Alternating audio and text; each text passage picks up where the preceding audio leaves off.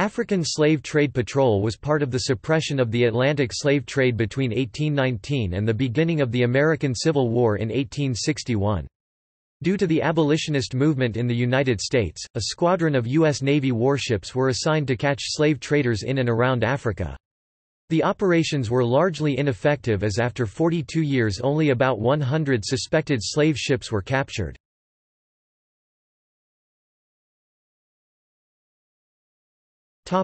Operations.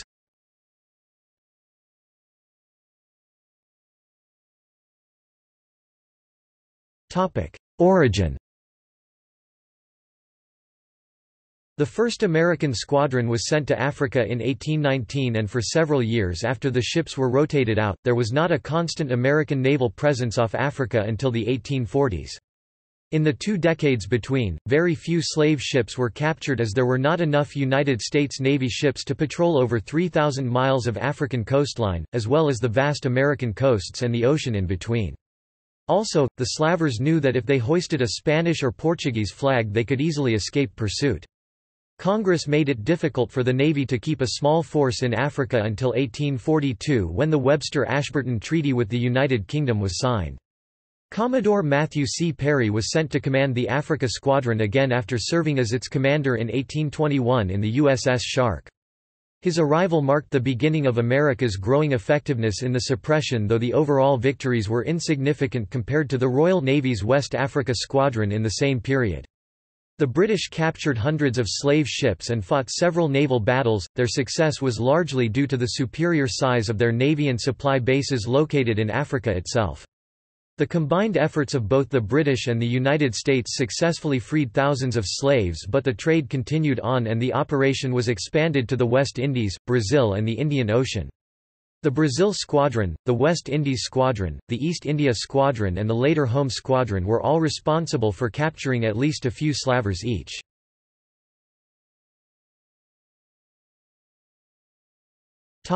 Capture of the Spitfire On 13 June 1844, the brig USS Truxtun was placed back in commission with Commander Henry Bruce in charge. Two weeks later, she sailed down the Delaware River and passed between the Capes and into the Atlantic. After visiting Funchal, Madeira, the ship joined the African station off Tenerife in the Canary Islands. For the next 16 months, Truxtun patrolled off West Africa, visiting Monrovia, Liberia and Sierra Leone, where slaves were freed. Truxtun also sailed to Mayo Islands of Santiago, and São Vicente. The Americans captured only one slaver on their cruise in 1845, the New Orleans schooner named Spitfire. The vessel was caught on the Rio Pongo in Guinea and was taken without incident. Though she was only about 100 tons, she carried 346 slaves. The Americans also discovered that she had landed 339 slaves near Matanzas, in Cuba, the year before. Commander Bruce reported that, between her decks, where the slaves were packed, there was not room enough for a man to sit, unless inclining his head forward. Their food was half a pint of rice per day, with one pint of water. No one can imagine the sufferings of slaves on their passage across, unless the conveyances in which they are taken are examined. A good hearty Negro costs but $20, or thereabouts, and brings from three to four hundred dollars in Cuba. The capture of the Spitfire gave the American Navy the incentive to increase the strength of the Africa Squadron. The ship was also fitted out and used in anti-slavery operations. On October 30, 1845, the Truxtun weighed anchor at Monrovia, and she headed west towards Gosport Navy Yard which she reached on November 23. She was then decommissioned on November 28.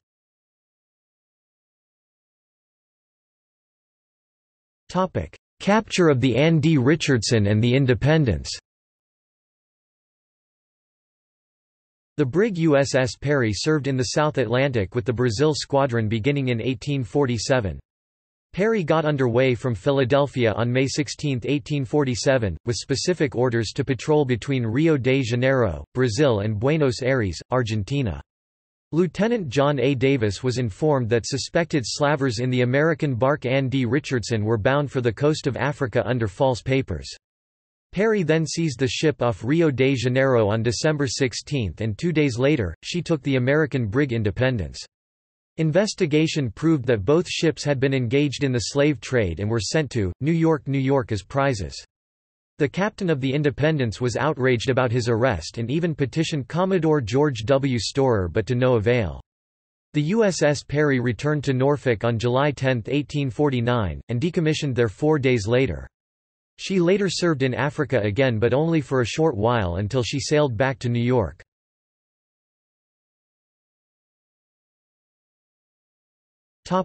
Capture of the Martha One of the Americans' more significant victories in the operation was the capture of the slave ship Martha.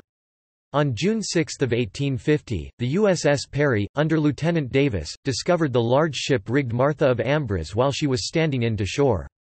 Soon after, as the Perry came within gun range, Lieutenant Davis and his men witnessed some of Martha's crew throwing a desk over the side while raising the American flag.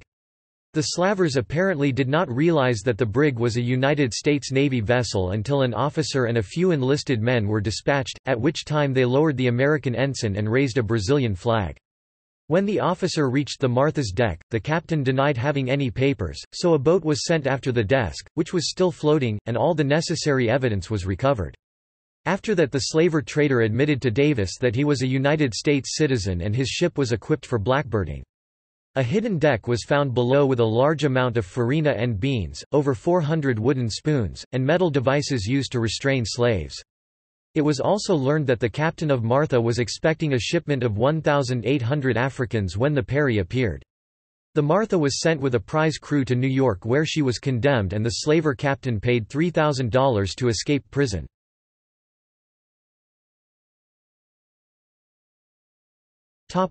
Capture of the Nightingale of Boston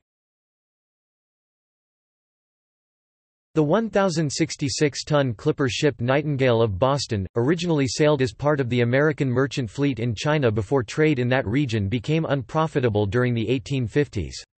She then became a known slave ship until being seized at St. Thomas on January 14, 1861, by the sloop of war USS Saratoga under a Captain Taylor. Taylor later described the slaver for some time the American ship Nightingale of Boston, Francis Bowen, master, has been watched on this coast under the suspicion of being engaged in the slave trade. Several times we have fallen in with her and although fully assured that she was about to engage in this illicit trade she has had the benefit of the doubt. A few days ago observing her at Kabenda, I came in and boarded her and was then induced to believe she was then preparing to receive slaves. Under this impression the ship was got under way and went some distance away but with the intention of returning under cover of the night, which was done and at 10 p.m. we anchored and sent two two boats under Lieutenant. Guthrie to surprise her and it was found that she had 961 slaves on board and was expecting more. Lieutenant.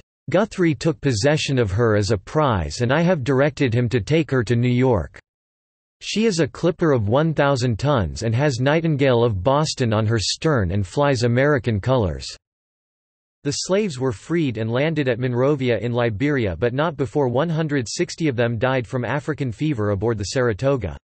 The sickness also spread to the crew. Captain Bowen, who was called the Prince of Slavers, and his Spanish second mate Valentino Cordino escaped the Nightingale while she was anchored of St. Thomas. Because Lieutenant John J. Guthrie was from North Carolina then a slave state he was suspected of freeing the two and letting them escape justice. The Clipper eventually served in the American Civil War as the storeship USS Nightingale in the Gulf blockading squadron and was finally abandoned at sea in 1893 while under a Norwegian flag.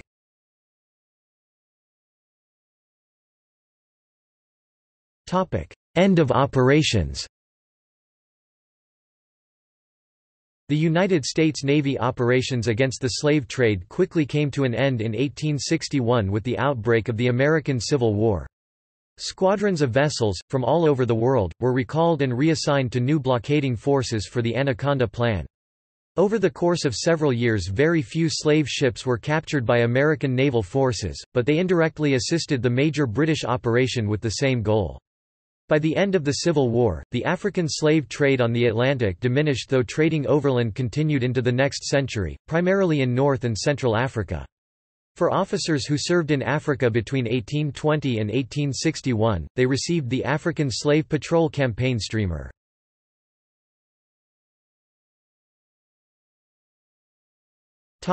Vessels seized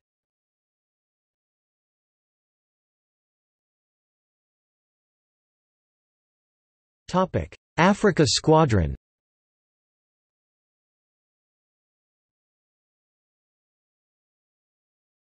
Topic: Brazil Squadron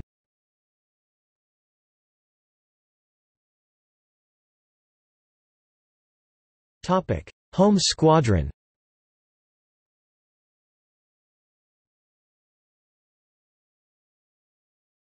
Topic: See also